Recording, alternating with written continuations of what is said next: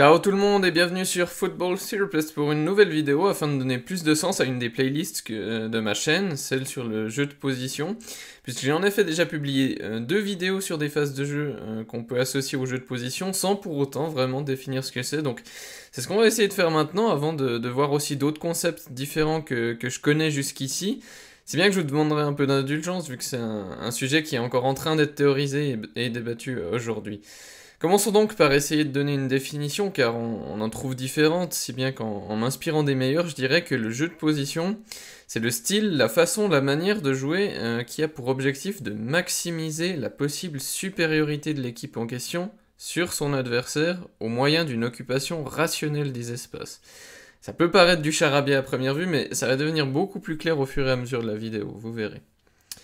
En fait, le terme position ne fait ici pas seulement référence au lieu, où les joueurs sont placés sur le terrain, mais aussi à la façon dont ils le sont,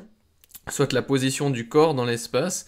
Et en français, le, mot position a en effet cette double signification, mais ce n'est pas vraiment le cas en espagnol, puisque, comme l'explique Juan, Manuel Lillo, c'est plutôt le terme ubicación qui devrait être choisi, c'est pourquoi vous pouvez trouver les deux nomenclatures depuis quelques années.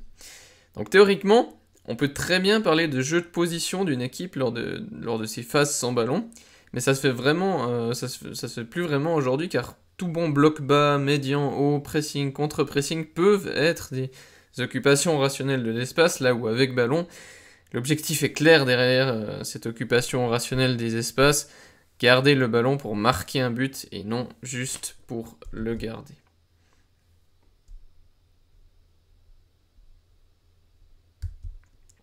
Le jeu de position n'est justement pas du jeu de possession ou du tiki-taka comme on l'appelle souvent à tort.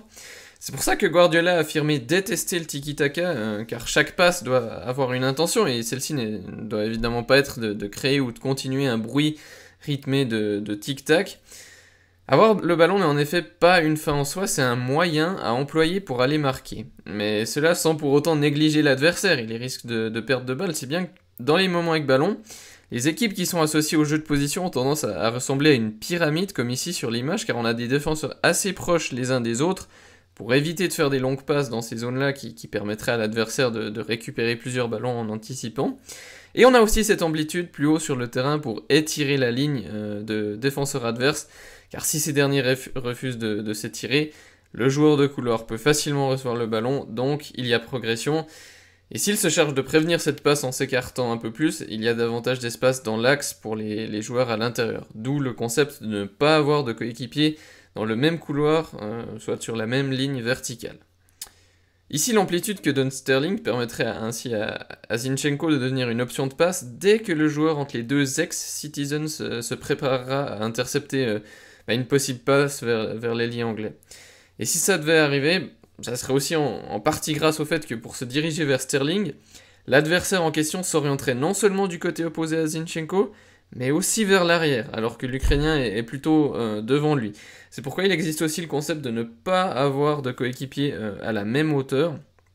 euh, même si, comme pour son faux jumeau, ce concept, ce concept est à considérer avec du recul, car même s'il est en fait plutôt destiné aux joueurs proches du ballon, et bien évidemment parfois possible de, laisser passer ce, dernier vers un joueur qui se trouverait plus loin sur la même ligne de passe.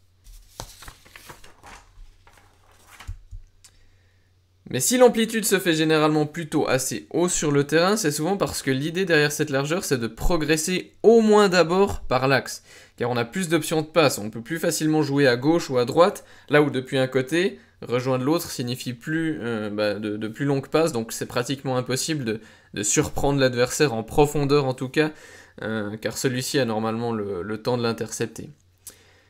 Pour autant, changer de côté et plus généralement jouer vers un joueur de couleur peut être le chemin le plus rapide vers le but, contrairement à ceux qui croient que c'est dans tous les cas l'axe, puisqu'il se peut que le plus de différence qu'une équipe fasse soit sur les ailes. Euh, dans ma vidéo sur le Barça de Xavi des, premières semaines, on avait notamment vu trois façons de favoriser les supériorités en 1 contre 1 sur le côté lorsqu'on y a un, bon dribbleur. Si bien qu'il n'y a aucune raison de se priver de ce genre de moyens si on en dispose, car ça serait aller contre la nature du jeu qui veut qu'on tente de tirer profit des différents types de supériorités ou avantages possibles. La littérature espagnole en, en reconnaît quatre avec la supériorité technique ou qualitative, la numérique, la positionnelle et la socio-affective, mais je trouve qu'on pourrait aussi parler d'un avantage dynamique. je ferai sûrement une vidéo un jour sur, ces cinq concepts, mais sachez qu'il y a déjà de quoi en apprendre sur Internet. Enfin bref, tout ça pour dire que cette occupation rationnelle des espaces, ce qu'on cherche en ayant le jeu de position comme objectif, est encore davantage rationnel lorsqu'on prend en compte qui sont ces joueurs ou ses coéquipiers. Si bien qu'il n'y a en fait pas qu'un seul système de jeu qui permet de pratiquer ce football-là, tous peuvent le faire, mais certains sont plus exigeants que d'autres. En effet, Mourinho affirme que, par exemple, il existe avec le 4-3-3 une, occupation parfaitement équilibrée des espaces, là où avec le 4-4-2 diamant resserré, il faut réfléchir beaucoup plus car le, terrain est occupé de façon peu rationnelle. Dit notamment que dans cette configuration, si les latéraux attaquent la profondeur, il faut une plus grande manœuvre pour compenser cela défensivement, et, c'est pareil quand des joueurs du, diamant euh, se déplacent vers les ailes. Mais même si certains systèmes sont donc plus complexes à maîtriser que d'autres, le jeu de position est toujours synonyme de rigueur positionnelle, d'exactitude à ce niveau, notamment avec le concept des, distances de relation qui, n'a pas seulement un but préventif en cas de perte de balle. Cette idée veut qu'on se situe en fait à une certaine distance de nos coéquipiers selon qui sont ces derniers, ainsi qu'où et chez qui est le ballon. Un exemple avec Messi qui, après quelques temps à jouer dans l'axe euh, sous Guardiola, avait tendance à avoir directement quelqu'un dans son dos quand il recevait le ballon pour pas qu'il puisse euh, se retourner, si bien que, selon la situation, la solution a été d'avoir plusieurs coéquipiers très proches de Messi pour réduire la distance et donc le temps de passe. Et donc si on est positionné correctement, il vaut mieux ne pas bouger dans certaines situations, car le faire serait ne, plus respecter sa, fonction. Henri a ainsi dit qu'à Barcelone, on apprenait à attendre le ballon plutôt que de décrocher pour le demander, car ces quelques mètres peuvent signifier qu'on ne franchit plus une ligne adverse, par exemple. Mais garder sa position peut aussi faire sens après avoir fait une passe si notre marquage s'en va ailleurs, ou si on veut qu'il reste avec soi pour pas qu'il défende un, autre coéquipier mieux euh, positionné. On avait vu le Toko Imevoy, je touche et je me déplace euh, dans mon analyse de, l'Argentine. Et eh bien parfois, il faut aussi toucher et rester, soit Toko Imekedo. Passons maintenant à davantage de concret, puisque hum, des animations sont cette fois nécessaires pour que vous puissiez euh, bien comprendre les concepts qui, suivent. Le premier d'entre eux est celui de l'homme libre, car on a généralement la possibilité d'être en supériorité numérique et donc euh, d'avoir un, homme libre. En effet, beaucoup, sont les équipes qui, lorsqu'elles n'ont pas le ballon, s'assurent d'avoir un joueur de plus que leur adversaire euh, à la hauteur euh, de leur ligne de défenseur. Et si ce n'est pas le cas et, que chacun défend un, joueur bien précis, il y a toujours la possibilité d'avoir une supériorité en utilisant son gardien pour autant qu'un des 10 joueurs de champ sorte sur ce dernier. Donc déjà, il faut que l'équipe se prépare à proposer des solutions si pression il y a, ou si pression il y aura, car il va justement peut-être falloir attirer celle-ci euh, avec un des nombreux moyens qu'il existe. Le premier étant une passe plutôt lente qui pourrait faire croire à un, joueur adverse euh, le, temps, le temps d'un instant que le gardien arrivera trop tard, alors que non, si bien que cet adversaire va quitter son joueur puis hésiter, laissant peut-être le temps au, gardien de, passer vers son joueur père.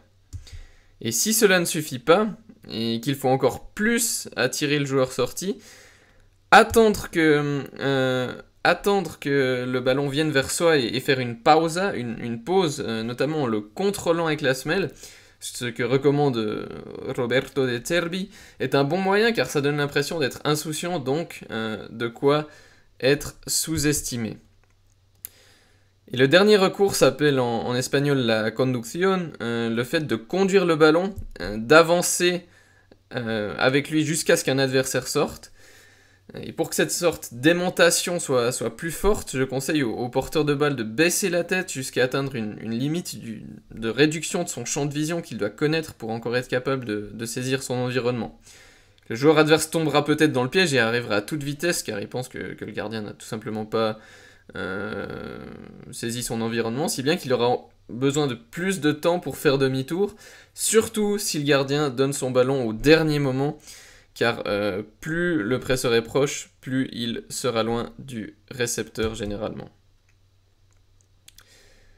Et si l'homme libre euh, devait encore se trouver dans l'ombre de l'adversaire au moment de faire la passe, L'alternative s'appelle circuit du troisième homme, puisqu'à travers un autre joueur, on va pouvoir trouver l'homme libre, qui est donc aussi le, troisième homme de, cette combinaison. C'est aussi pour ça qu'on associe le jeu de position à la formation de triangles autour du porteur du ballon. Mais ce qui est déterminant, c'est comment sont ces triangles, pas le fait qu'il y en ait, car vous pouvez prendre n'importe quelle équipe et relier les joueurs de façon qu'il y ait des triangles, alors que ce n'est pas pour autant du jeu de position. Parfois, il est aussi possible d'élargir ce concept de troisième homme à celui du quatrième homme, comme j'avais pu démontrer dans, ma vidéo sur le, le, Barça, de Xavi. Mais cela implique d'être déjà concerné par le jeu avant que le troisième homme ne reçoive le ballon. Et c'est plutôt euh, de, cela que j'aimerais parler maintenant, soit, soit l'idée que chaque joueur a, un rôle en tout temps, même quand le ballon euh, est de l'autre côté. Euh, là, à la, sortie de la combinaison du, troisième homme, euh, imaginons que cet adversaire sorte sur le porteur de balle, empêchant ainsi la passe vers le latéral. Impossible de jouer vers l'homme libre suivant, donc, puisqu'il est, il est dans l'ombre du presseur. Donc, nouvelle conduction. Et là vient justement le, le, concept de voyager ensemble, de viajar juntos, qui demande donc aux joueurs de toujours former un agroupement pour progresser, notamment ici pour prévenir une perte de balle, puisque le défenseur central a, quitté sa position.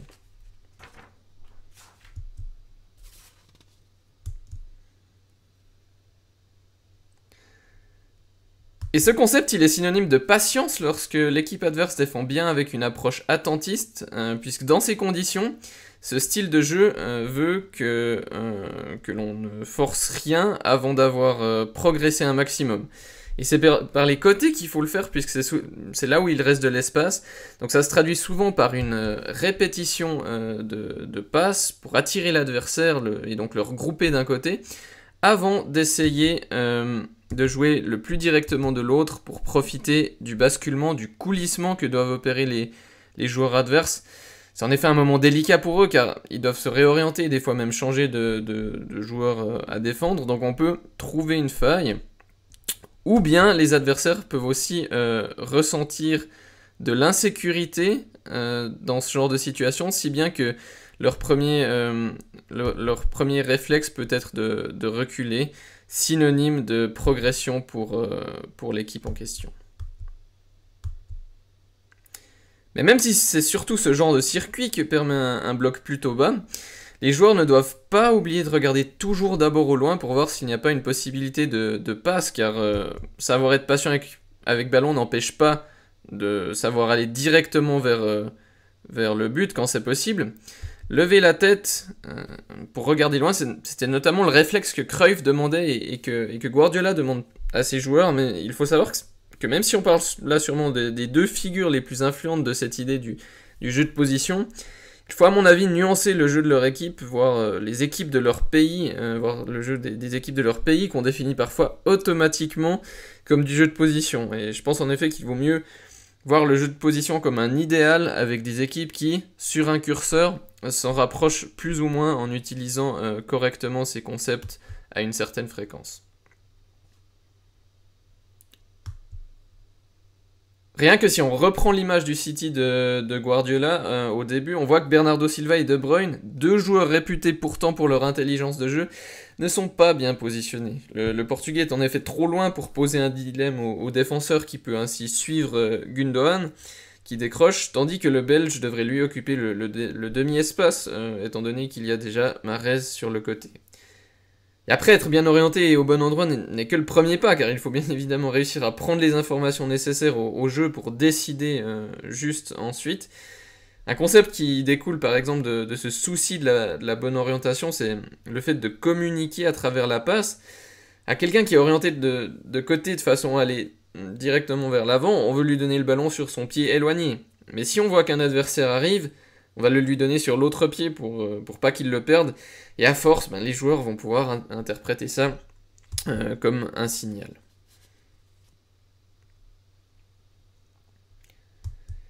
Voilà, je crois que c'est tout ce que moi je pouvais, euh, je, peux dire sur le jeu de position sans parler des, éléments théoriques de Seirullo, auxquels je consacrerai sûrement une, vidéo un jour. Et puis sinon, je compte aussi approfondir plusieurs concepts mentionnés